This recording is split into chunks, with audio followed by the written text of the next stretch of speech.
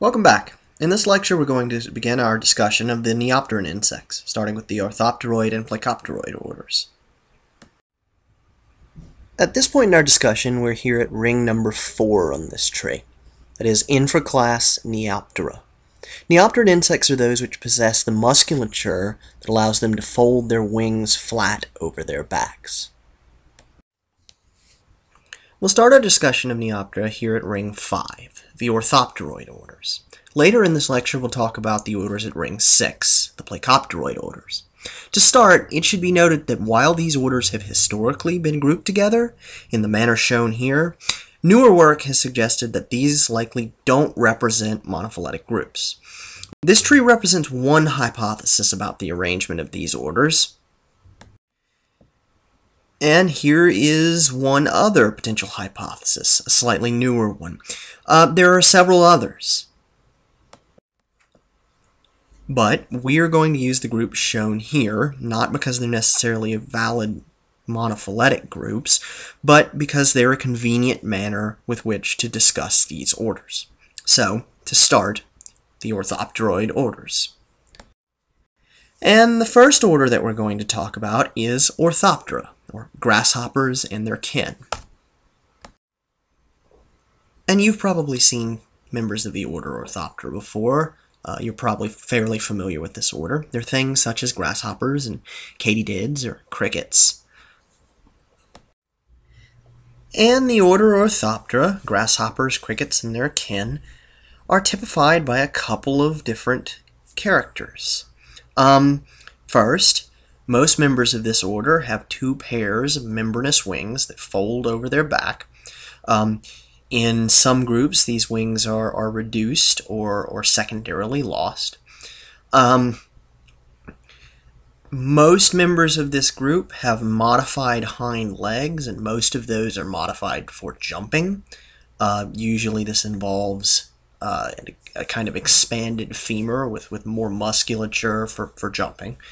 Um, Members of this uh, order have uh, an enlarged pronotum, and the pronotum is, is the dorsal or, or, or top, if you will, if you're looking down on the insect, uh, part of the thorax.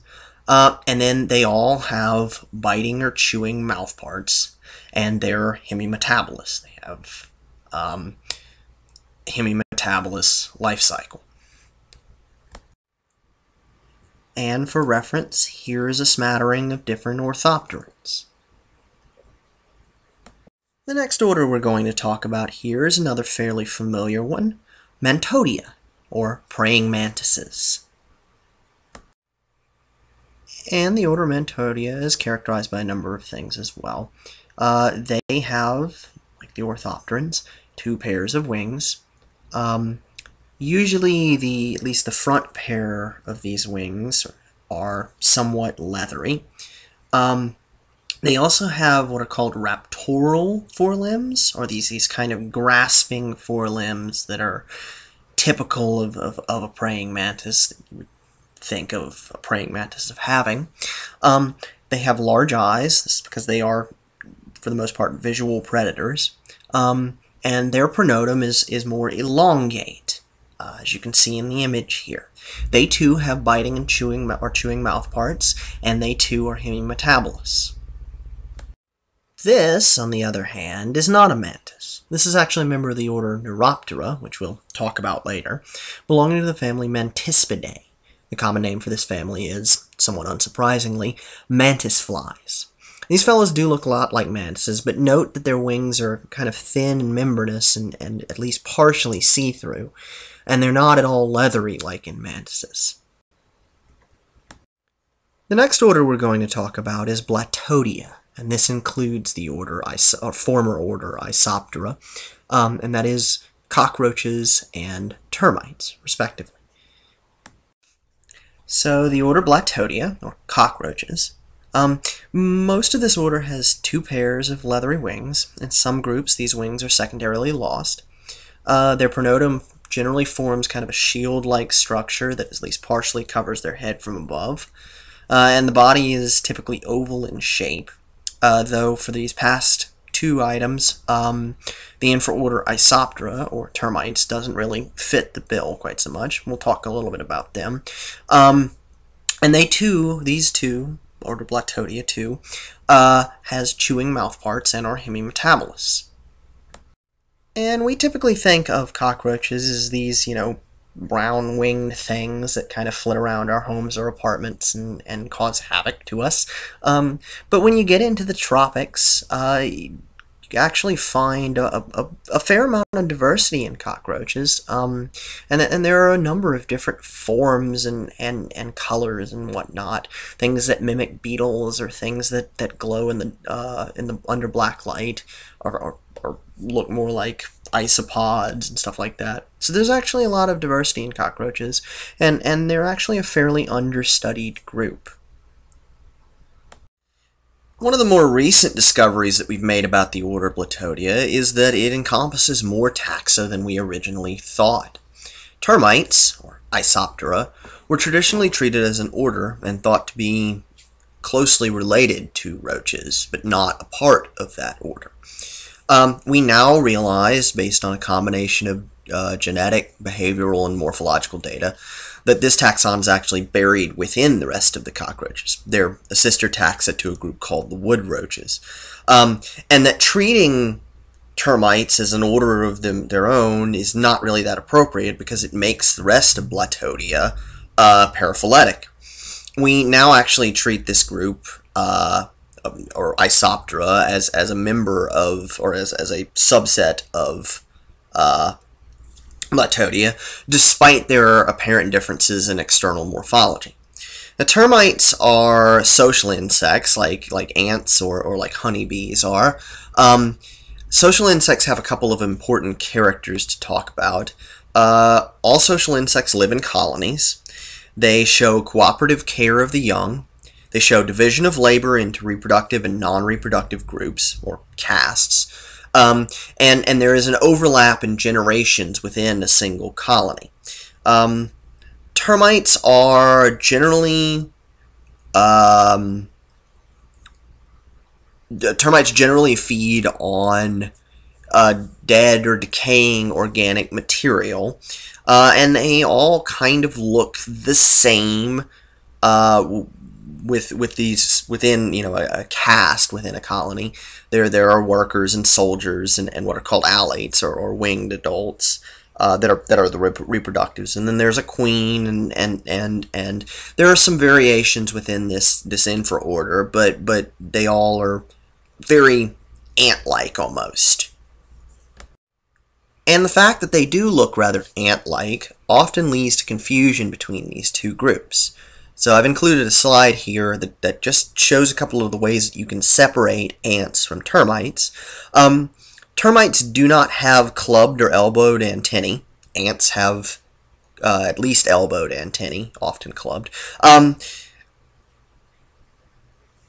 termites uh, have kind of a broad waist between the thorax and the abdomen, whereas ants uh, have a very thin or narrowed waist. And then uh, if wings are present in termites, the front and hind wings are of the same size, whereas in ants, the front wings are, are larger than the hind wings.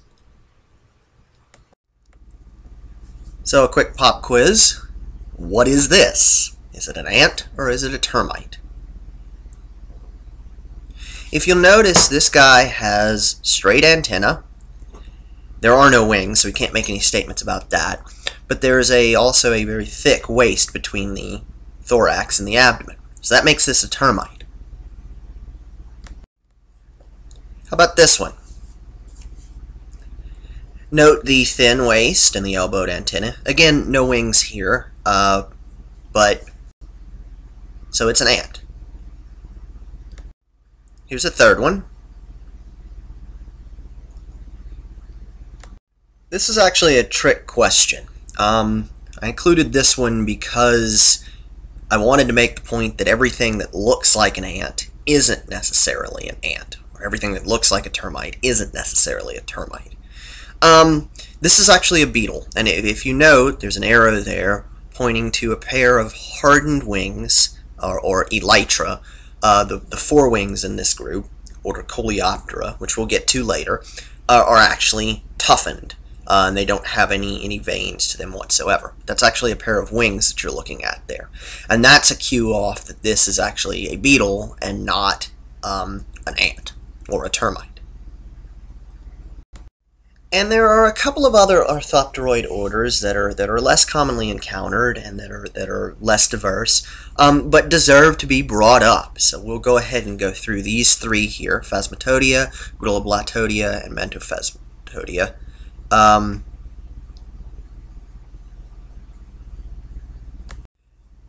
the first of these orders is Phasmatodea, uh, or walking sticks.